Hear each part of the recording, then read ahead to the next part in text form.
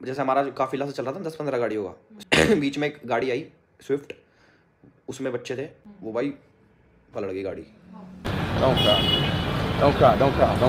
तो hello guys कैसे हैं आप सभी लोग? तो आज की वीडियो में हम आपके लिए फिर से लेके आए हैं धमाकेदार अपडेट्स तो सबसे पहले बात करते हैं स्पीड के बारे में। स्पीड पिछले कुछ दिनों से इंडिया के अंदर आए हुए थे और उन्होंने कल अपने चैनल के ऊपर एक व्लॉग अपलोड किया जिसके कि लास्ट के अंदर उन्होंने सभी इंडियंस का दिल जीत लिया। उन्होंने क्या कारनामा किया आप खुद देख लीजिए।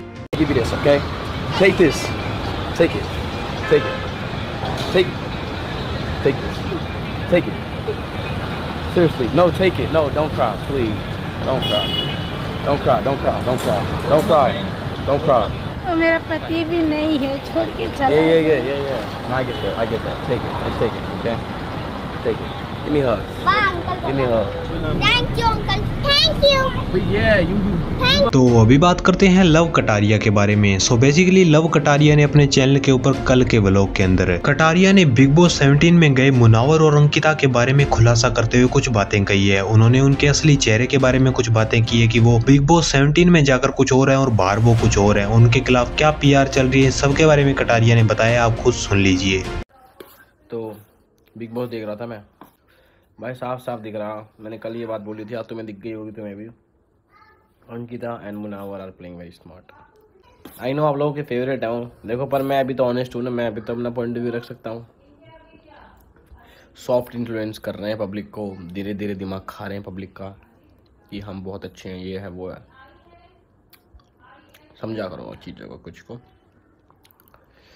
समझ रहे हो ना? ट्विटर पे असली खेल चलता। ट्विटर पे आओ। पता लगेगा। कहाँ से क्या पीआर चलाई जा रही है, कहाँ से क्या पीआर नहीं चलाई जा रही है मुनावर की, सब दिख जाएगा आप लोगों को।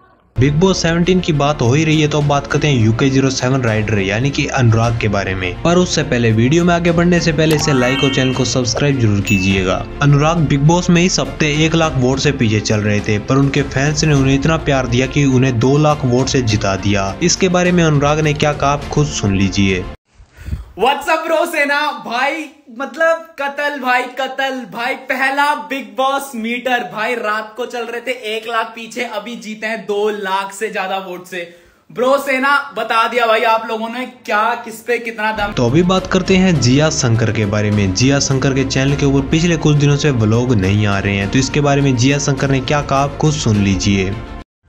हाय गाइस आई नो आज का व्लॉग नहीं आया है। It's not that I forgot day days change हो गए हैं. From now onwards instead of Monday and Thursday my blogs will be out on Tuesday and Friday Uh, so every Tuesday and Friday it is, guys, from now onwards. Uh, hopefully that doesn't change anytime soon because of my team, but uh, they have their own reasons, and I don't get into technicality. तो guys अब बात करते हैं Elvis Yadav के बारे में Elvis Yadav के बारे में दो न्यूज़ सामने आ रही है पहला ये कि उनका कल बलेरो सॉन्ग रिलीज़ हो गया जिसके के ऊपर फैंस का काफ़ी तगड़ा प्यार मिल रहा है और वो सॉन्ग काफ़ी ज़्यादा वायरल भी जा रहा है और सेकंड अपडेट ये है कि एलविस यादव का छत्तीसगढ़ के अंदर जब लाइव शो हुआ था तो उस दौरान उन्हें एक एक्सीडेंट के बारे में पता चला कि छोटे बच्चों की गाड़ी का एक्सीडेंट हो गया और वह गाड़ी पलट गई। तो इसके ऊपर एलविस यादव ने क्या कहा? आप खुद सुन लीजिए। आज होगी घटना।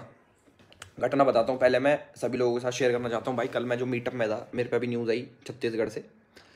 हाँ जैसे हमारा जो काफिला से चल रहा था दस पंद्रह गाड़ी होगा स्टार्टिंग में जब हम एयरपोर्ट से होटल जा रहे थे, बीच में एक गाड़ी आई स्विफ्ट उसमें बच्चे थे। हाई येलो कर रहे थे, मैं हाई येलो कर रहा था। वीडियो वाडियो बना रहा था पर वे ना बहुत तेज चला रहे थे। बहुत तेज मतलब समझ रहे? यूँ यूँ यूँ यूँ यूँ सांप बना रहे थे कि पता नहीं क्यों बना रहे थे, कभी आगे, कभी पीछे। वो भाई पलट गई गाड़ी।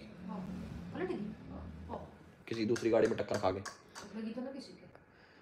मेरे को तो बड़ी शौक शौक हुआ मैं बड़ा देख के मैंने बोला कह रहे गाड़ी ठुक गई? मैंने कि गाड़ी ठुक गई मतलब एक जो मर्सिडीज जीएलएस थी वो भी ठुक गई।